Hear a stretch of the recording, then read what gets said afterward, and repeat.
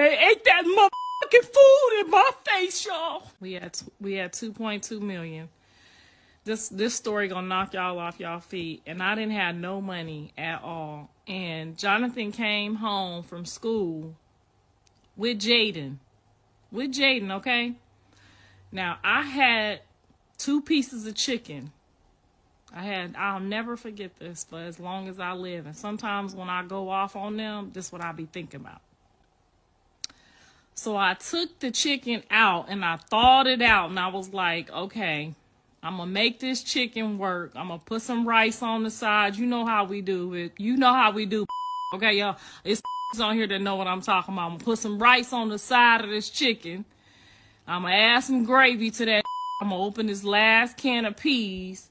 And he ain't gonna know nothing. He gonna get a gourmet meal. He gonna make it do what it do. We gonna eat this last supper, and Jesus gonna have something for us in the morning. I'm just not even gonna worry about it because I rushed home to get that that school check. You know that college check y'all be waiting on. You know what I'm talking about. And that check didn't come, and all I had was these two pieces of chicken and a bag of rice and a couple of cans of peas in that cabinet. You know what I'm talking about when that school check don't hit right. Child said we good. We got dinner tonight. We gonna be straight. This comes in the house with Jaidyn. They don't know about this. Now I'm hungry as I've been at school all goddamn day. Getting my education, praying to the Lord, okay? Going to church every Sunday, ain't doing no hoeing, okay?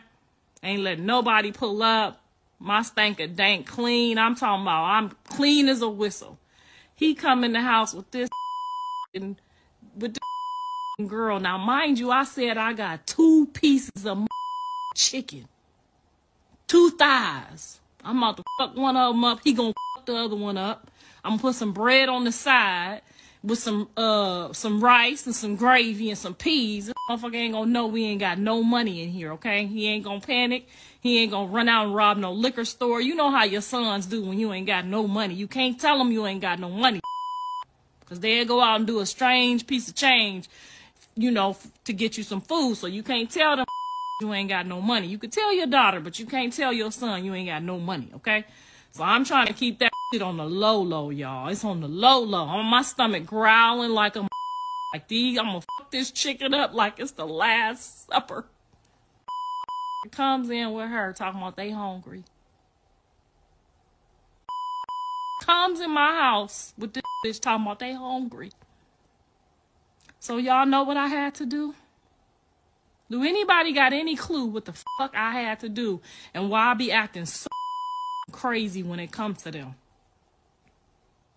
I ate my rice and I watched them eat that plate of food.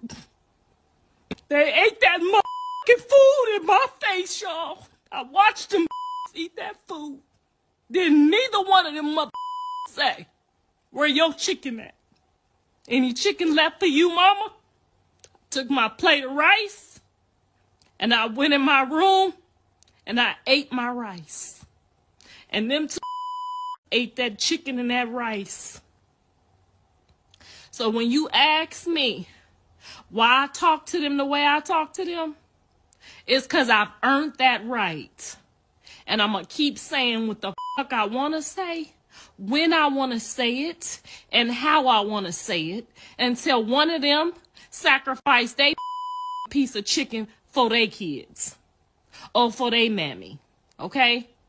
So don't get in my inbox asking me why you don't give her no break, why you don't give John no break.